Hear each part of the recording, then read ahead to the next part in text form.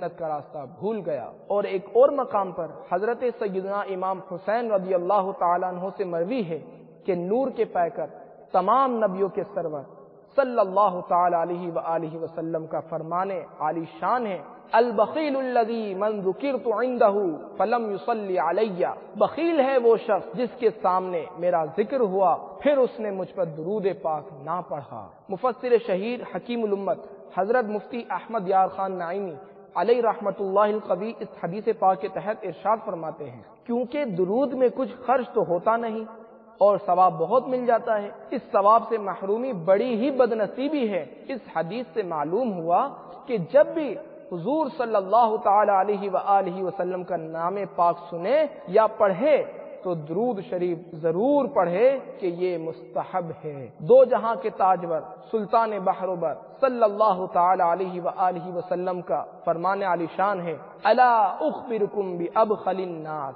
کیا میں تمہیں لوگوں میں سب سے بڑے بخیل کے بارے میں نہ بتاؤں؟ صحابہ کرام علیہ مردوان نے عرض کی، یا رسول اللہ صلی اللہ تعالی علیہ وسلم ضرور بتائیے۔ ارشاد فرمایا، من ذکرت عندہ فلم یصلی علیہ فذالک ابخل الناس۔ جس کے سامنے میرا ذکر ہو، پھر بھی مجھ پر درود پاک نہ پڑھے، تو وہ سب سے بڑا بخیل ہے۔ صلو علی الحبیب صلی اللہ تعالی علی محمد۔ مصطفیٰ جان رحمت صلی اللہ تعالی علیہ وآلہ وسلم کے پاس ایک آدمی گزرا، جس کے پاس ایک ہرنی تھی، جسے اس نے شکار کیا تھا۔ اللہ عز و جل نے اس ہرنی کو قوت گویائی عطا فرمائی۔ ہرنی نے عرض کی یا رسول اللہ صلی اللہ تعالی علیہ وسلم، میرے چھوٹے چھوٹے بچے ہیں، جنہیں میں دودھ پلاتی ہوں، اب وہ بھوکے ہوں گے، اس شکاری کو حکم فرمائیے کہ یہ مجھے چھوڑ دے تاکہ میں اپنے بچوں کو جا کر دودھ پلاؤں، پھر میں واپس آ جاؤں گی۔ حضور جان عالم صلی اللہ تعالی علیہ وآلہ وسلم نے ارشاد فرمایا، اگر تو واپس نہ آئی تو پھر ہرنی نے عرض کی، یا رسول اللہ صلی اللہ تعالی علیہ وسلم، اگر میں واپس نہ آؤں تو مجھ پر اس شخص کی طرح اللہ عز و جل کی لانت ہو جو آپ صلی اللہ تعالی علیہ وسلم کا ذکر سنے اور آپ پر درود نہ پڑھے یا اس آدمی کی طرح مجھ پر لانت ہو جو نماز پڑھے اور دعا نہ مانگے۔ حضور جان عالم صلی اللہ تعالی علیہ وآلہ وسلم نے شکاری کو اسے آزاد کرانے کا حکم دیا اور فرمایا، میں اس کا ضامن ہوں۔ چنانچہ ہرنی دودھ پلا کر واپس آ گئے۔ پھر حضرت جبریل امین علیہ السلام بارگاہ رسالت میں حاضر ہوئے اور عرض کیا یا رسول اللہ صلی اللہ تعالی علیہ وسلم، اللہ عز و جل سلام ارشاد فرماتا ہے اور فرماتا ہے، مجھے اپنی عزت اور جلال کی قسم، میں آپ کی امت پر اس سے بھی زیادہ مہربان ہوں جیسے اس ہرنی کو اپنی اولاد پر شفقت ہے اور میں آپ کی امت کو آپ کی طرف لوٹاؤں گا جیسے کہ یہ ہرنی آپ کی طرف لوٹ کر آئی۔ میرے مدنی چرن کے ناظرین، غور تو فرمائیے کہ وہ ہرنی کتنی خوش نصیب تھی کہ جس کی حضور صلی اللہ تعالی علیہ وآلہ وسلم خود ضمانت لیں اور یہ فرمائیں کہ میں اس کا ضامن ہوں۔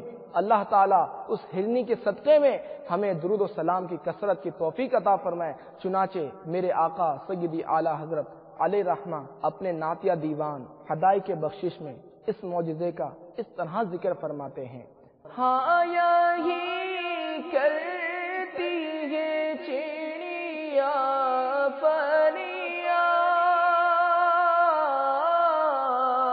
ہاں یہی کرتی ہے چڑیا پریا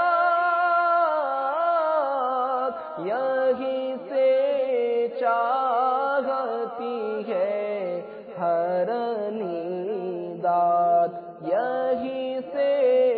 چاہتی ہے ہر نیداد اسی در پر شوترا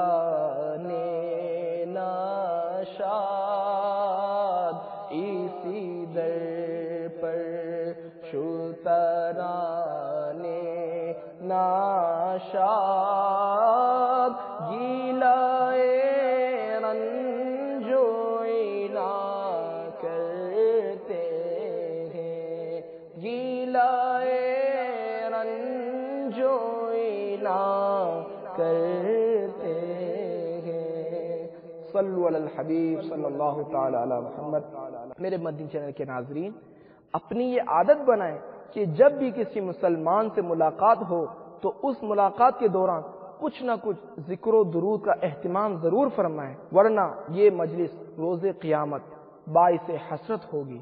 چنانچہ حضرت سیدنا ابو حریرہ رضی اللہ تعالیٰ عنہ سے مروی ہے کہ نبی رحمت شفیع امت صلی اللہ تعالی علیہ وآلہ وسلم نے ارشاد فرمایا، جب لوگ کسی مجلس میں بیٹھتے ہیں اور اس میں نہ اپنے اللہ عز و جل کا ذکر کرتے ہیں اور نہ اپنے نبی کریم صلی اللہ تعالی علیہ وآلہ وسلم پر درود پڑھتے ہیں، قیامت کے دن وہ مجلس ان کے لیے باعث حسرت ہوگی۔ اور اللہ عز و جل چاہے تو ان کو عذاب دے اور چاہے تو ان کو بخش دے۔ حضرت ابو سعید خدری رضی اللہ تعالیٰ عنہ نبی کریم صلی اللہ تعالی علیہ وآلہ وسلم سے روایت کرتے ہیں۔ آپ صلی اللہ تعالی علیہ وآلہ وسلم نے ارشاد فرمایا، کسی قوم نے کوئی مجلس قائم کی اور اس میں مجھ پر انہوں نے درود نہ پڑھا تو وہ ان کے لیے حسرت کا باعث ہوگی۔ اگرچہ دوسری نیکیوں کے ثواب کی وجہ سے وہ لوگ جنت میں داخل ہو جائیں گے۔ حضرت سیدنا جابر رضی اللہ تعالیٰ عنہ سے روایت ہے۔ رسول اللہ صلی اللہ تعالیٰ علیہ وآلہ وسلم نے ارشاد فرمایا، جو قوم اپنے اجتماع سے بغیر اللہ کے ذکر کے اور بغیر درود پڑھے اٹھ گئی، وہ مردار کی بدبو پر سے اٹھی ہے۔ میرے مدنی چینل کے ناظرین، ان روایات پر غور فرمائیے۔ کہ درود پاک کے معاملے میں بخل کرنے والوں کے لیے کیسی کیسی وعیدیں بیان کی گئی ہیں۔ خوب غور کریں، سوچیں اور اس عادت سے توبہ کریں۔ میرے آقا، اعلی حضرت، امام اہل سنت، مجدد دین و ملت، الحاج، الحافظ، القاری، امام احمد رضا خان، علی رحمت الرحمان نام اقدس سن کر درود شریف پڑھنے کے بارے میں حکم شریعت بیان کرتے ہوئے اپنے مشہور زمانہ فتح رضویہ شریف جلد چھ صفحہ دو سو اکیس پر ارشاد فرماتے ہیں۔ نام پاک حضور پور نور سید دو عالم صلی اللہ تعالی علیہ وآلہ وسلم مختلف جلسوں یعنی مجلسوں میں جتنے بار لے یا سنے ہر بار درود شریف پڑھنا واجب ہے یعنی ضروری ہے۔ اگر نہ پڑھے گا گناگار ہوگا اور سخت وعیدوں میں گرفتار۔ ہاں اس میں اختلاف ہے۔ اگر ایک ہی جلسہ یعنی مجلس میں چند بار نام پاک لیا یا سنا تو ہر بار واجب ہے یا ایک بار کافی اور ہر بار مستحب؟ بہت علماء قول اول یعنی پہلے قول کی طرف گئے ہیں۔ ان کے نزدیک ایک جلسے میں ہزار بار کلمہ شریف پڑھے تو ہر بار درو شریف بھی پڑھتا جائے۔ اگر ایک بار بھی چھوڑا گناگار ہوا۔ دیگر علماء نے امت کی آسانی کی خاطر قول دو یعنی دوسرے قول کو اختیار کیا۔ ان کے نزدیک ایک جلسے میں ایک بار درو شریف پڑھ لینا ادائے واجب کے لیے کفایت کرے گا۔ زیادہ کے ترک سے گناگار نہ ہوگا۔ مگر ثواب عظیم و فضل جسیم سے بے شک محروم رہا۔ بہرحال مناسب یہی ہے کہ ہر بار صلی اللہ تعالی علیہ وآلہ وسلم کہتا جائے کہ ایسی چیز جس کے کرنے میں بال اتفاق بڑی بڑی رحمتیں، برکتیں اور نہ کرنے میں بلا شبہ بڑے فضل سے محرومی اور ایک مذہب قوی پر گناہ و معصیت تو عاقل کا کام نہیں کہ اسے ترک کرے۔ صلو علی الحبیب صلی اللہ تعالی علی محمد۔